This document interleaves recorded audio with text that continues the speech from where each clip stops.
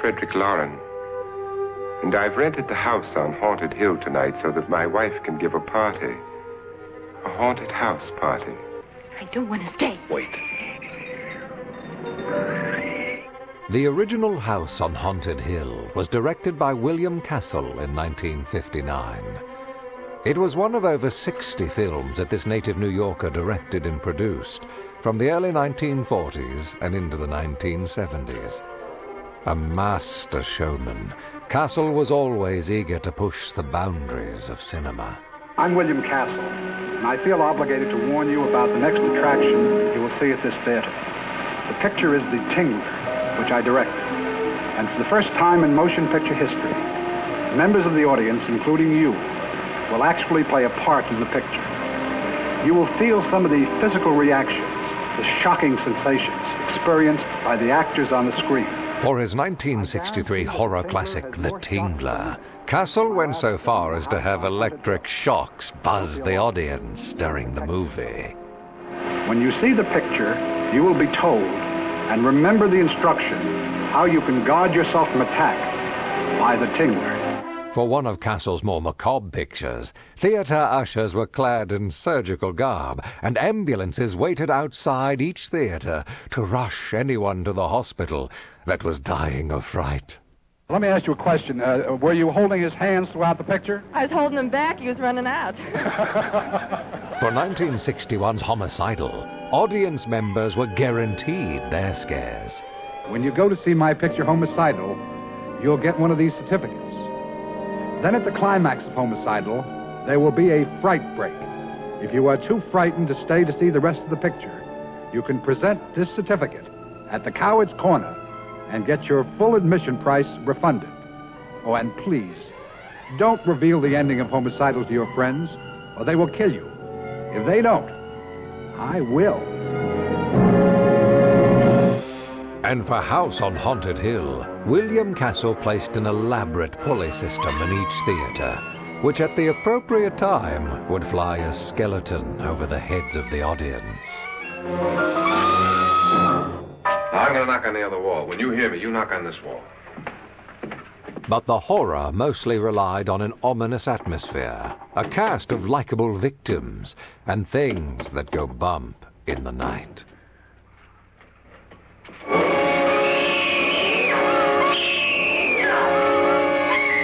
As times changed, however, the effects that used to scare audiences now get more laughs than screams. The 1999 remake builds off the plot of the original version, but updates the film to scare modern audiences, raised on a diet of increasingly sophisticated special effects. From here on, it gets really scary.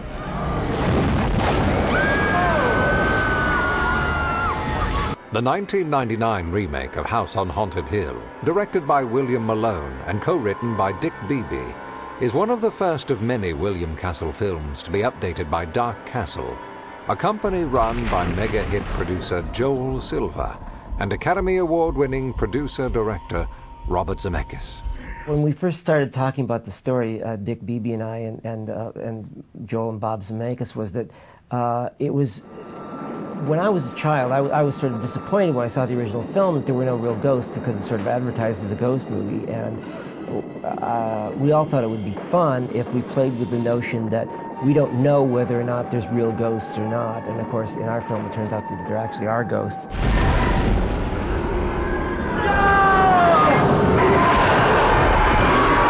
Mainly what we tried to keep from the old picture is really its sort of uh, uh, sense of humor and uh, just the, the to- sort of tone of the film. All you want to be is a lovely widow.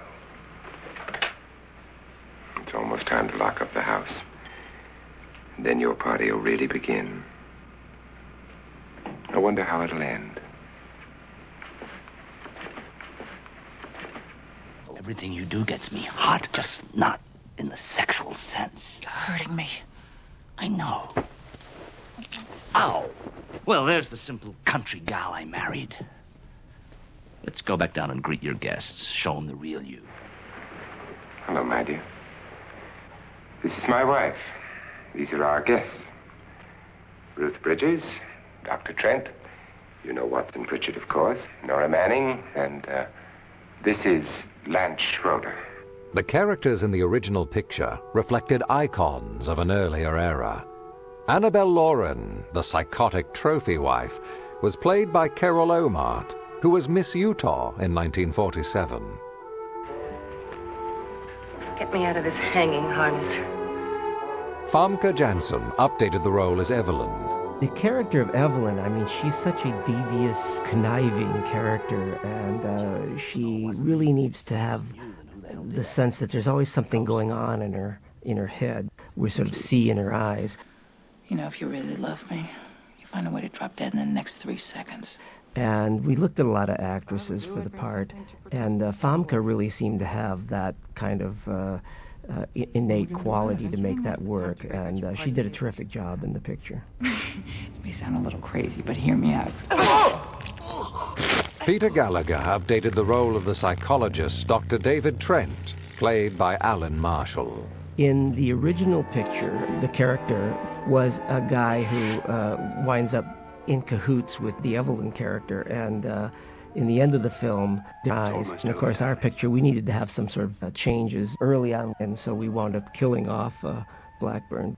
Peter Gallagher uh, lends a nice sort of evil quality to the to the picture of the, the guy who is something something completely different than what he uh, initially seems.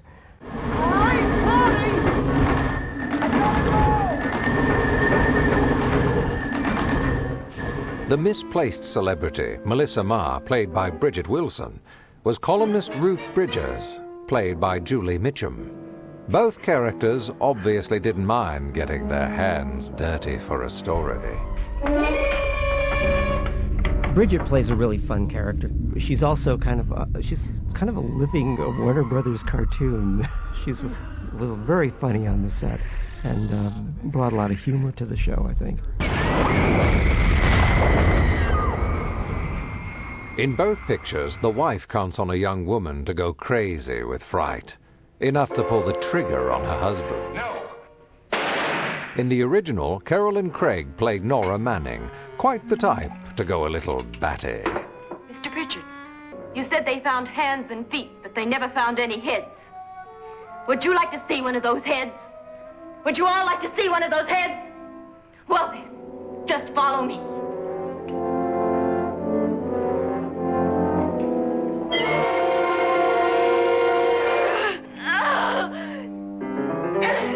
For the update, Sara Wolfe is played by Ali Larter. Uh, Ali Larter, playing, of course, our, our female lead in the picture, uh, we were looking for somebody who really had this sort of girl next door quality, somebody that uh, you liked immediately. And uh, her character, I think, is interesting because she is pretending to be somebody else. So who are you? Really? I told you already. Jennifer Jensen, Executive VP. You're lying, all right. But the And fact that she has sort of conned her way into this turns out to be a blessing and a curse at the same time. I think that uh, we pretty much wore uh, Ali Larter out, though. She she had to do a lot of battling in that blood, and, and I think was not happy with me by the end of the day. But, but she was a good sport about it. So. What the hell are you doing? Taye Diggs updates the role of pilot Lance Schroeder, played by Richard Long, who is best known for his role as Jarrod Barkley on the TV series The Big Valley. Here, he's an all-American boy next door type of hero. Nora! Please hide me. Please hide me. What's the matter? Hide me. Taye Diggs had his own style of heroism. Damn. You're pretty handy yourself. Taye Diggs plays in, in our film an ex-baseball player. The thing that we all liked about Taye was he has sort of a warm vulnerability. Good, let go. All right, there we go. you know, which is something that's really important for your main character in, in the film. And that's something that I think uh, Taye is, is sort of innate in his, his personality as well. Hey, pal. That wasn't code for. What? Can you just shine a light here? Absolutely. Both pictures have their own Watson Pritchard, the strange owner of the house. The thing, the evil. The thing that's the rotten core at the bottom of this place. The thing that's gonna kill us all. Destroys everything with hair and flesh. Just leaves the bones. Elisha Cook Jr., um, who you might remember from uh, Maltese Falcon, who plays the Gunsel in Maltese Falcon, he plays the, the Pritchard character in the original film. And he has this kind of slightly demented quality to him. This is what she used on my brother and her sister. And we, you know, when we got Chris Kattan to come on board, uh, he uh, sort of had that quality as well as being very funny. I'm just a little bit uncomfortable with this. I'm sure you are. He uh, doesn't really play it for laughs. He's just funny because he's Chris. And uh, he plays it actually fairly straight as this guy who's just right on the edge of a nervous breakdown, which with Chris is hysterically funny. so what, we're stuck here forever? Uh, cleaning crew's supposed to come in at 9.30 in the morning. Jeez. Oh, so then we'll just stay here till morning. Yeah, I'm sure we'll be mutilated beyond recognition by then. Rounding out the cast is the master showman of them all, Frederick Loren, in the role that started Vincent Price's long career of horror movies. Who knows, you may want to use it on me before this night is over. A lot of people think that we actually went out and tried to find somebody who looked like Vincent Price because Geoffrey Rush winds up looking so much like Vincent Price in the movie, and that was really uh, coincidental. It's funny because Geoffrey really wanted to play the, that role uh, as John Waters, the film director. And uh, so once we put him in sort of John Waters makeup, and he suddenly looked like Vincent Price. So that was just the way it happened. and on that mercenary note, dear friends, let the games begin. One of the things that we wanted to keep in, in our version that I, I liked a lot in the original film was the scene with Price and Evelyn in uh, the bedroom. Uh, and which is early in the film when they're talking about the guests. And I thought the original film that was really one of the strongest scenes. You remember the fun we had when you poisoned me? Something you ate, the doctor said. Yes, arsenic on the rocks. Annabelle, you'd do it again if you thought you could get away with it, wouldn't you? Darling, what makes you think that? Let's not forget the OJ knife with the not quite retractable blade. Your Jim Jones Kool-Aid that was exactly that. Accidents. All accidents until proven otherwise. I'd be so happy if that were really true, Evelyn. Well, one of the scenes that, that I think is a lot of fun in the original film is where the uh, Vincent Price uh, lays out all these guns for the guests, which is incredibly diabolical. This is my wife's idea. I must say, I think it's rather dangerous. We wanted to retain that, and uh, we set them all in this coffin with this sort of bubbling uh, fog, which which is sort of consistent with uh, Price's character. He's a real showman, so whatever he would do would be very showman-like. So how's a girl to know if these things are loaded, Buff? Only one way I can think of. Pull the trigger. We uh, Dick Beebe, when I say we, Dick Beebe and I, uh, early on we had discussions about uh, the movie. We needed something that when they came in the door, we got a sense that something was going to happen, that the house was alive.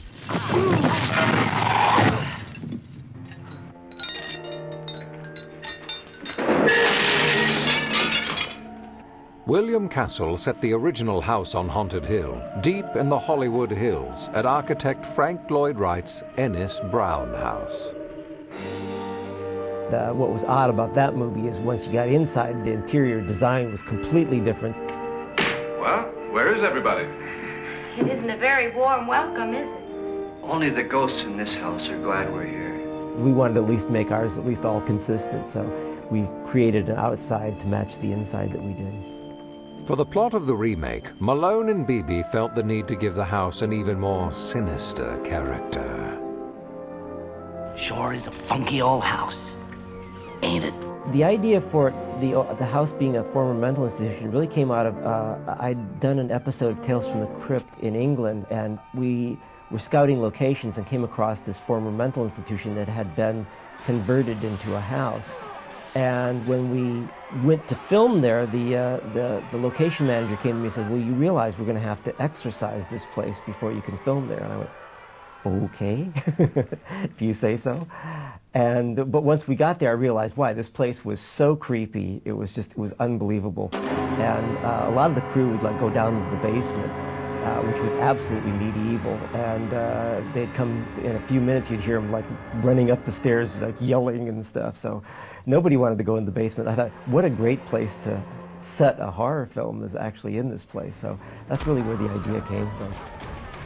I think uh, we gained a couple things in having it be a mental institution. One is that the setting itself is creepy, which is always a good thing because you want to keep all the tone and mood the same.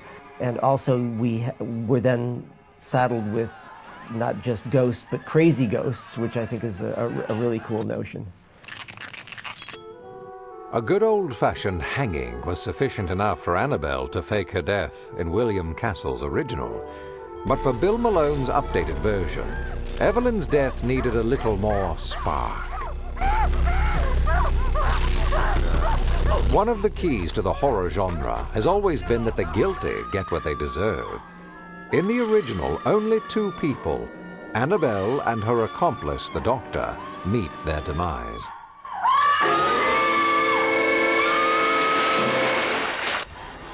For the remake, all but two of the characters meet their ghostly demise, leaving only Sarah and Eddie $5 million for surviving the night. If I don't, I lose $10,000. I'm going to stay too. $10,000. Yeah. This shows the inflation in both body count and the economy since the 1950s.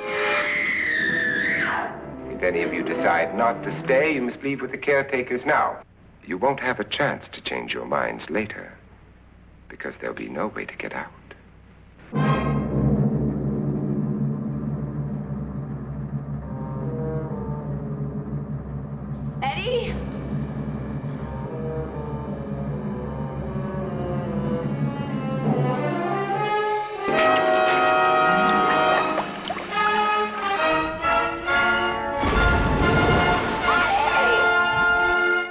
Concludes our tale of two houses, each having their own unique blend of thrills.